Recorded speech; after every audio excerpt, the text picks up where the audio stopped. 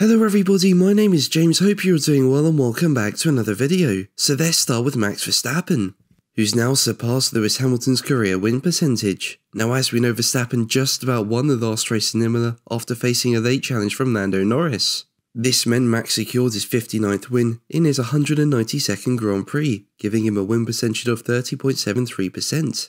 This means he moves ahead of Hamilton, who has a win percentage of 30.38% and moves to fourth in the all-time order behind Juan Manuel Fangio, Alberto Ascari, and Jim Clark. Now, Max has been dominant in the sport since the new regulations came into play in 2022, and last year managed to win 19 out of 22 races.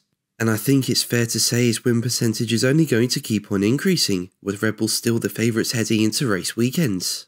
As for rivals Mercedes, they're still not on the pace of Red Bull, Ferrari, and McLaren, with them currently a distant fourth in the constructors' standings and in the last race in Imola they were nowhere, finishing a lonely 6th and 7th place. That was even with more upgrades being brought to the car, so clearly there's a lot of work to do.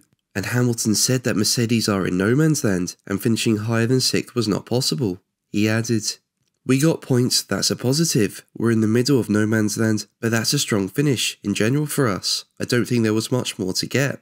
Now Mercedes have failed to register a top 3 finish in the opening 7 rounds, so it shows how far they've fallen behind rivals. How Mercedes get out of this one I don't know, I mean I'm sure they'll be on the podium at some point, but it doesn't look like it'll happen anytime soon.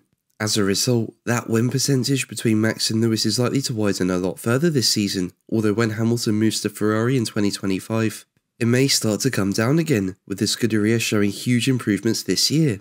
But what do you think? Let me know in the comments below. But that's going to be the video from me today. Thank you ever so much for watching. Make sure to like and subscribe for more videos. And until the next one, take care.